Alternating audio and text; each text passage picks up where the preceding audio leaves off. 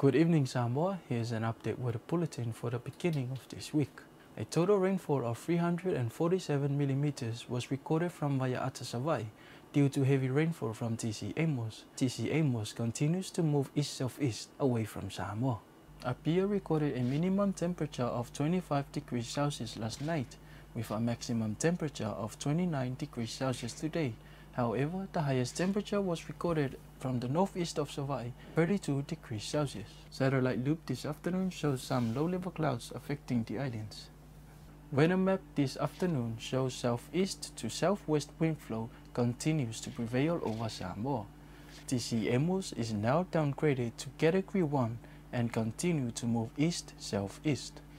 Forecast for tonight, partly cloudy with a chance of a few showers for the northern side, cloudy with brief showers for the southern side. For tomorrow, some brief showers.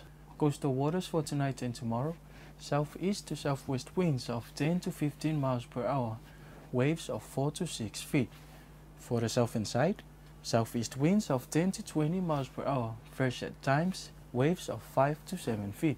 Tide table, it will be high tide 25 minutes past 8 tonight, and for tomorrow, low tide at 25 minutes past 2 early morning, high tide at 22 minutes to 9 in the morning, low tide 3 more minutes to 3 in the afternoon, high tide again 11 minutes past 9 tomorrow night.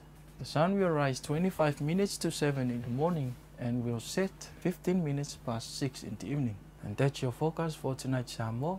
Join us again tomorrow for another update. Good night.